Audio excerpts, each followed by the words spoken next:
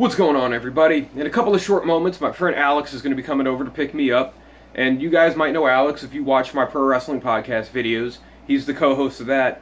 But today, this has nothing to do with pro wrestling. Today, him and I are going on a little bit of an adventure. We're going to a place called Feltville. I found out about this place from Weird New Jersey Post like two days ago. Now, Feltville is apparently an abandoned village located within the Watchung Reservation in Berkeley Heights, New Jersey. Us living only 30 minutes from Berkeley Heights, first off, why haven't we heard of this place? And second of all, why haven't we been there? Um, to me, you guys know I always love to explore. And an abandoned village, not only does that sound cool, but that also sounds like an adventure. So I figured I have to go. Uh, so I threw the idea at Alex. He's down for it. So he's going to be coming to pick me up. We're going to head there. And I'm filming this intro before he's here, obviously.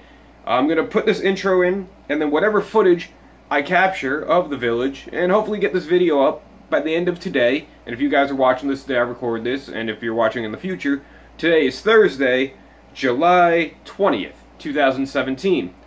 Also, if anything bad happens, like if we get attacked by the village people, not the Ben, but like the creepy village people, you guys know what I'm saying. Um, this will be, I guess, my last will and testament for where we are, what we saw, and hopefully the documentary of our final hours hopefully that doesn't happen, and hopefully you guys get to see a lot of cool things in this abandoned village, which is I'm hoping I see too. I saw a bunch of pictures, and I'm very excited for this. So guys, that's where I'm going to leave you at for now. Coming up shortly, through the process of amazing editing, you guys are going to come walk with us through this abandoned village. Let's hope we come back okay, and let's hope this becomes an awesome video. I'll see you guys later. What's up, everyone? Uh, we just got here down in the deserted village of Feltville. Um, this is one abandoned house that we found. Definitely interesting. Let's take a look at what we can see. Well, I'm out of ideas. Is there anything in the house? There's a building in there. There's a building there. No, there's a desk in there. That's what I meant to say. All right, guys, we're gonna, I guess, take a walk down to this uh, historic cemetery that's apparently down here. Um, so I guess let's just follow the road.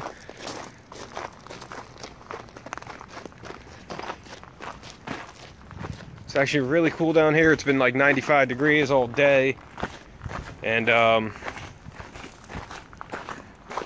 thankfully that I guess the trees help to um, cover up some of the heat. Put the recording back. All right, guys, I think we see it up here.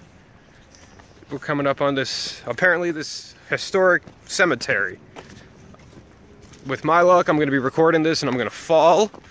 Well, we know um, where to um, put them, right? yeah. So let's see if I can speed it up a little bit. Let's see what we got up here.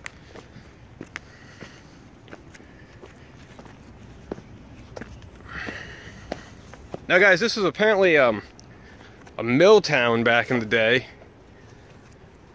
Um, I'm gonna go around the front because I don't want to walk on top of anyone's graves, God forbid. And this is why he's gonna be smited down in the future. Exactly. Uh, rest in peace to all these people. Look how old these are 1776, 1785. Died November 1st, 1776. Just even look at the style.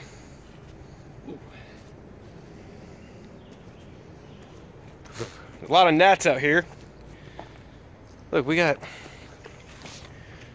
November 27. Are they the same people? Uh, relatives. But both same death date, too. Oh, I guess so. For those that don't know, the year 1776, what happened during then? America was born. Yes, that is correct. He's, this guy was a judge advocate, Wilcox. It's like all this, definitely the same family. Even this guy, uh, or woman, Phoebe.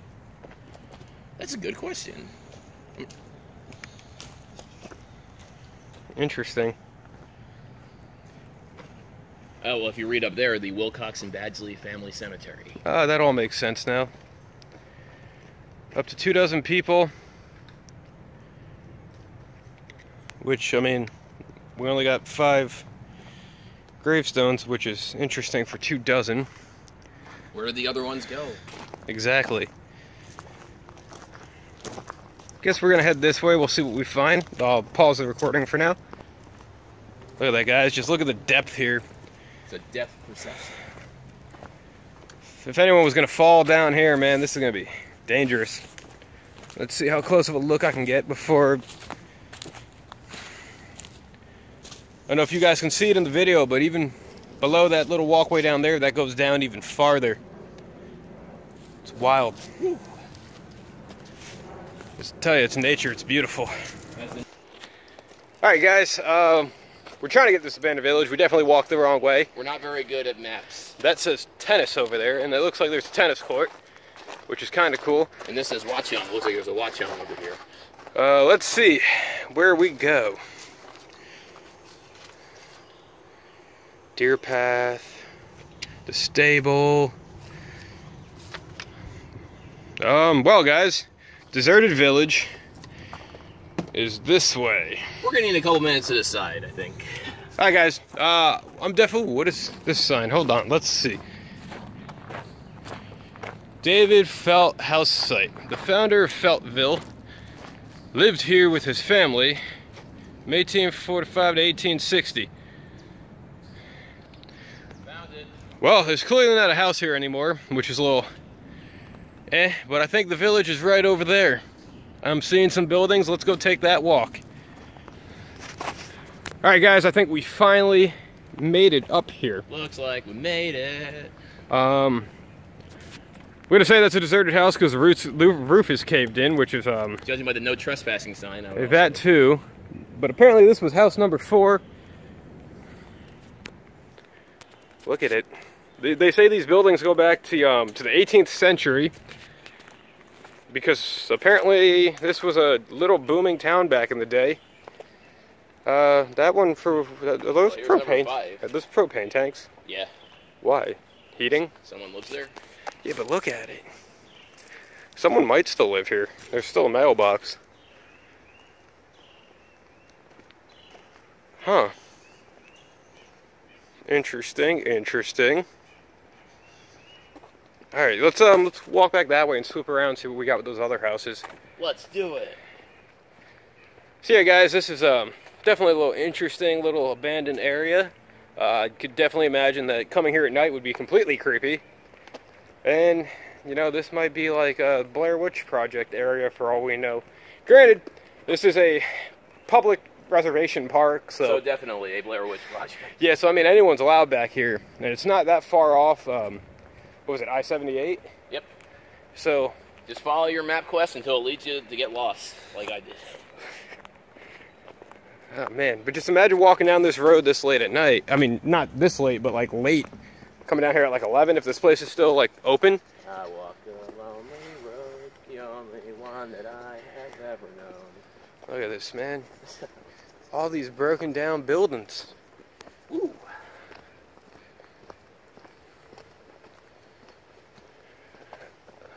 Imagine just walking on one of those, falling right through like the freaking deck. Hey, let's try that. Uh, you could. I won't. How much do you think the hospital will pay me?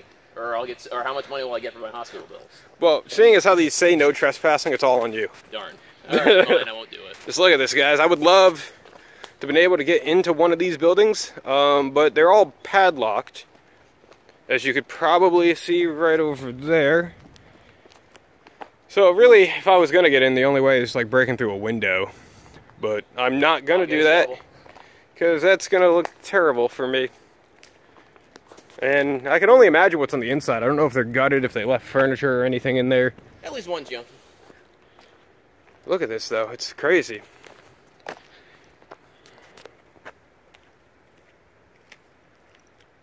Imagine they cleaned all this up and they actually made like tours into here. That Like- would cost more money than they probably make by they probably make now. Well, I'm surprised they haven't like tried to knock any of these down.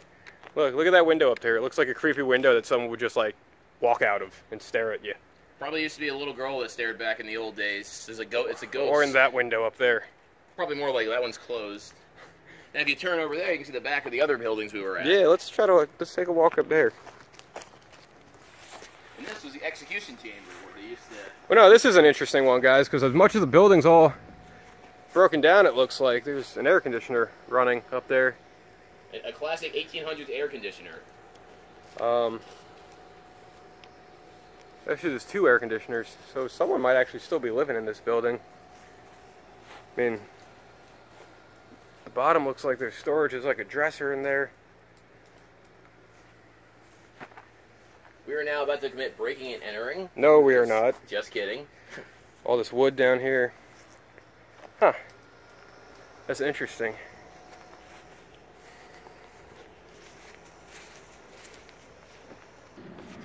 Alright guys, so we're coming up on uh, these sets of buildings, which, I mean, they might be abandoned. This one still has a mailbox. This one looks Um, like there's a vegetable garden. yeah, so, here. so this one's They- probably still occupied. Apparently the town um, still has a few residents.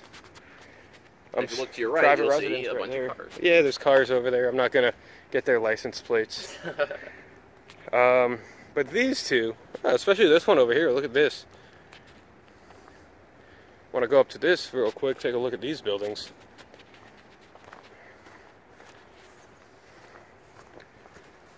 Must be weird living in what a, an abandoned building would be, but it's also probably really, really peaceful. I could just imagine. It's also really hot. Or in the wintertime, really cold. Well, think about how long these houses have probably actually been standing. You know what I mean? This deserted historic village is government property. We can't enter it. Uh, it's punishable by law, and I would need um, a bolt cutter to get in there anyway. But you can only just imagine what might be in here, what might be hiding in here, who might be hiding in here.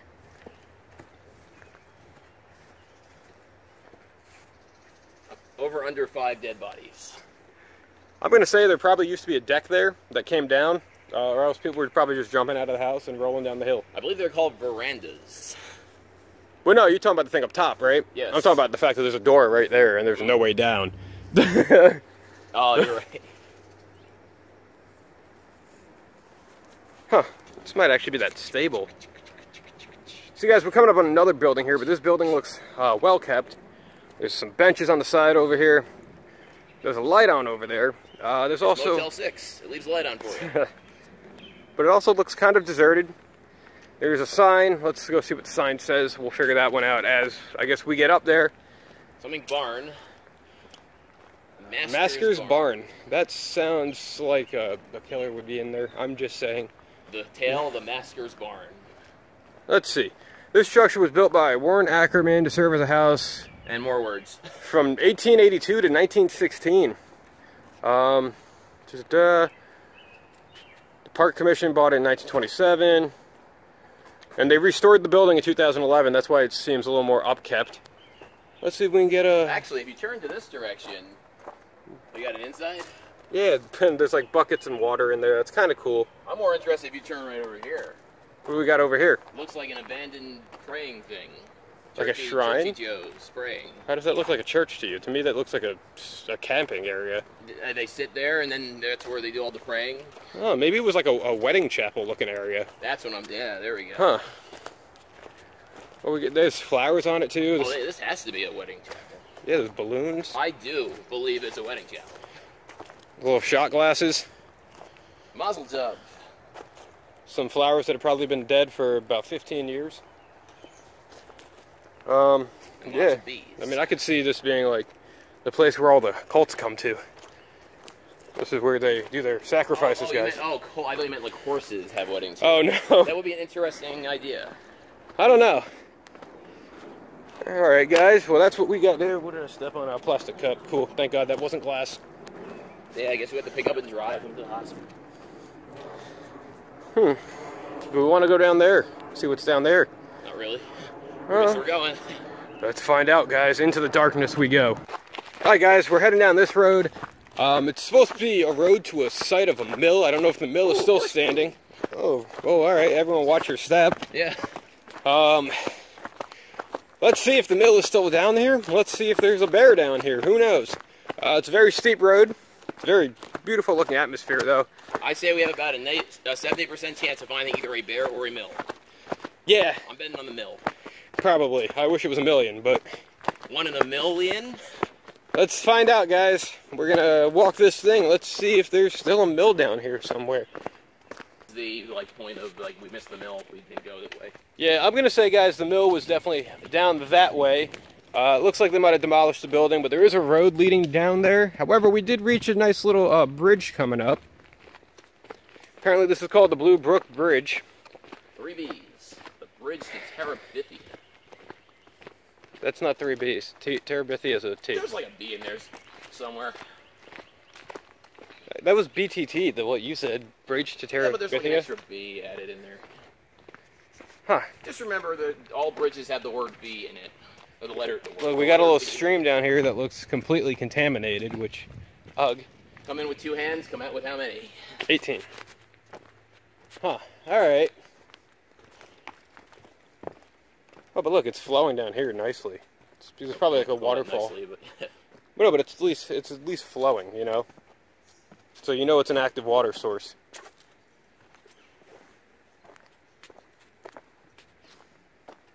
Get off of me.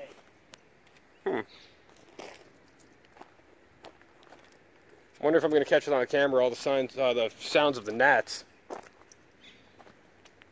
Guys, we've already discussed this. We probably should have put bug spray on before coming down here. It was a dumb move on our part. Can I say my joke? No. Darn it.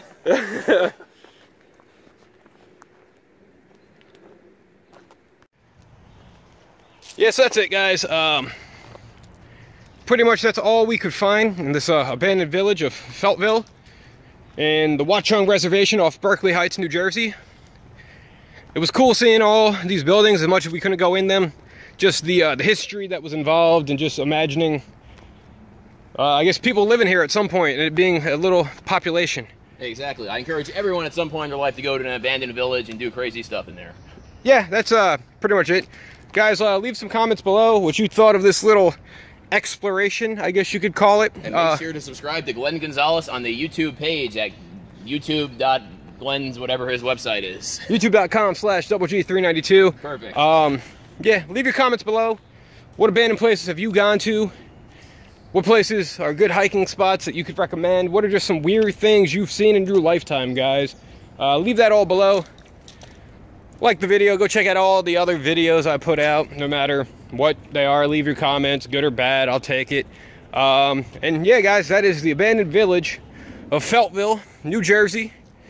And uh, thank you for watching, as always.